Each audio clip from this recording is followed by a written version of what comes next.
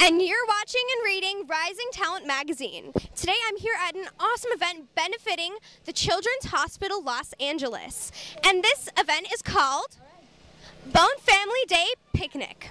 So, as you can see, we're totally rocking it out.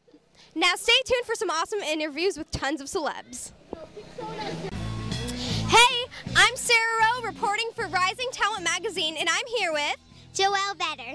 All right, Joelle. So, what have you been working on lately? Well, I've been um, actually filming the new episode for Bella and the Bulldogs, and I play young Bella on it, so it's going to be super fun. Awesome. So, you know that we're at this event right near here, the Bone Day Family Picnic. What made you want to come to this event and support the Children's Hospital?